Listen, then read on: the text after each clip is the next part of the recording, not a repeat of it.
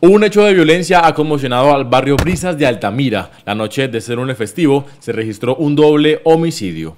Los hombres identificados como Oscar Mauricio Gómez Cedeño, de 35 años, y Yamid Fernando Castañeda, de 30 años, fueron asesinados mientras se encontraban en un andén de la vivienda número 154, en la carrera 37F del mencionado barrio. Los lamentables hechos tuvieron lugar justo después del encuentro deportivo que movió a la ciudad entre Alianza Petrolera y Atlético Nacional. Según testigos, varios individuos a bordo de motocicletas llegaron al lugar y abrieron fuego contra Gómez Cedeño y Castañeda, causándoles la muerte de manera inmediata.